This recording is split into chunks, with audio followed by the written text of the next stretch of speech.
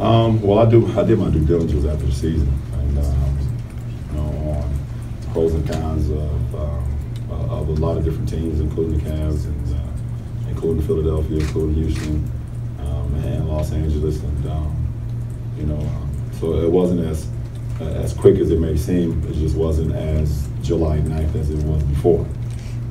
So, you know, after kind of talking to my family more than anybody, uh, I felt like this was the next journey and my uh, next step in my journey, and, uh, and what my expectations are for the team. Um, we don't we don't have any right now, um, but we definitely want to be better than we were in the previous year.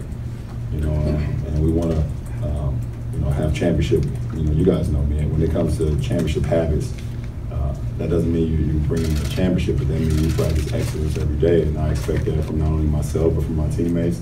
That's what Jeanie, that's what Magic, that's what Rob will want, that's what Luke is going to want, and uh, we shouldn't sell ourselves short of that. So, um, you know, I think there's going to be months where we're really good. There's going to be months where we're not so good, and that's just going to become from just familiarity. We're not we're all new to each other. Besides Ball, Ingram, uh, Kuz, Hart, um, Zubac, um, I believe that's the returning class um, that's there, and uh, but everybody else is also new to the, to the system. Um, so we, we will see what happens with that. But as far as us, there's no reason that you become a Laker, you become a Yankee, uh, you become um, part of Man U, um, you become, become some, part of some franchise and clubs, and you don't think about winning championships or winning, uh, you know, at the highest level. That's that's just what uh, that's what the history is all about. Thank you guys. Appreciate That's it. it.